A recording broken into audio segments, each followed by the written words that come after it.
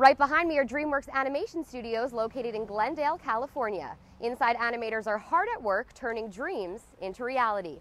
I was lucky enough to sit down with one of the producers, Bonnie Arnold, on some of DreamWorks' biggest projects.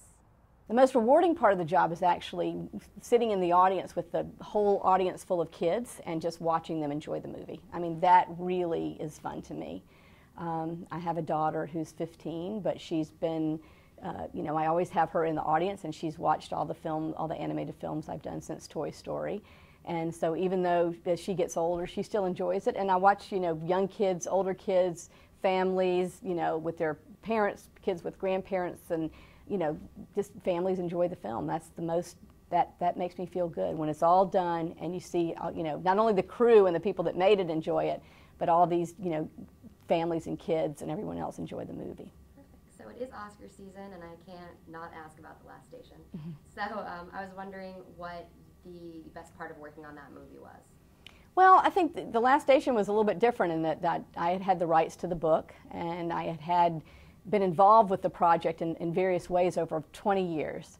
So I think this is, I'm still in that sort of pinch me phase that it, I still hard, hard to believe it got actually got made and that it got made so well and, and that I was very lucky to have great partners, great producing partners. I have a, a, a British producer partner, Chris Curling, and a German producer partner, Jens Meurer, and, and the director, Mike Hoffman. And all of us and the team of people that really believed in that film uh, did it for you know, close, very little money, and, but a lot of passion and a lot of, you know, love for the project.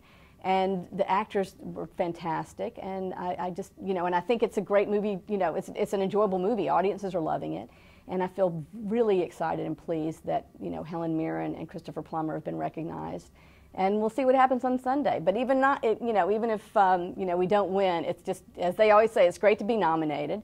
And I think if any, anything else, um, people will even be more aware after we get some Oscar, you know, rec- you know, just recognition of being there and being nominated. And hopefully, people will still go see the film because it's still in theaters and it's still rolling out across the country. But um, it was great. It was, you know, it was an interesting experience, and I'm so proud of the film.